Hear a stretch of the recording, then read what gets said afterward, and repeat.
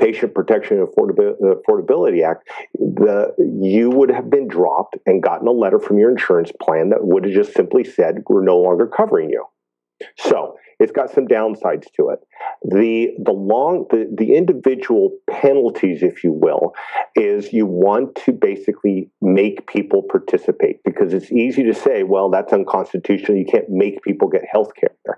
Well, the reality is, as individuals, you're paying for people's health care because they're uninsured in emergency medicine, when you see patients and they say, "I don't have insurance," uh, somebody's got to pay the bills. You know, the the emergency departments and the emergency medical system that you and I worked in, Glenn, is is woefully inefficient.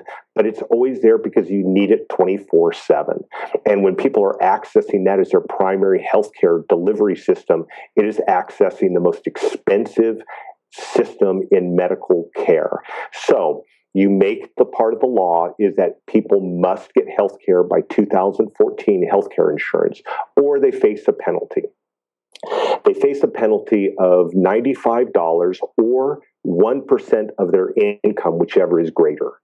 So that's the first that's the first year penalty. When you move into the second year, to, in 2014 and beyond, you start looking at 600 I have to look at my notes, but $695 a person or 2.5% of their income, whichever is higher.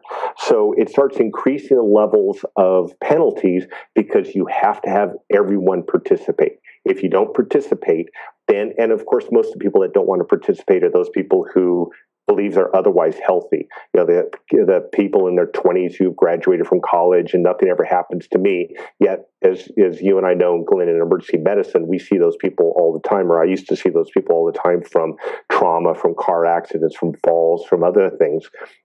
So it makes the law that everyone has to get health insurance. That's the biggest thing on the individual level. Uh, and I want to add to that. Um, I think uh, that the emergency medicine is woefully what what did you say? Inefficient? Yeah. Um, i think from a medical point of view i mean from a medical point of view i think it's brilliant. From a financial Absolutely. point of view it's clearly inefficient. Uh, the thing i that, agree completely.